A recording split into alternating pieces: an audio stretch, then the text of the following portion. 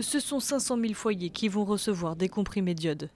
En cas d'accident nucléaire, cette pilule permettrait de se protéger des rejets radioactifs et d'éviter les cancers de la thyroïde. La pilule doit être prise plusieurs heures avant l'exposition aux nuages radioactifs. si c'est juste après, ça a quand même un effet qui est moindre, mais l'idéal c'est de prendre avant d'être exposé aux nuages radioactifs.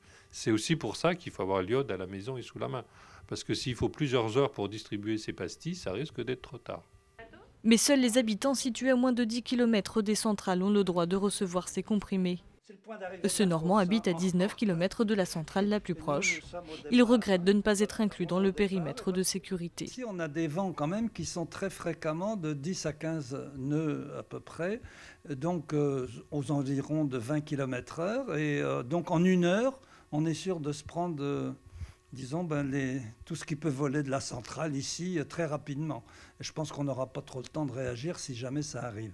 En conséquence, les associations de défense des riverains réclament un périmètre de sécurité élargi à 100 km autour des centrales nucléaires françaises.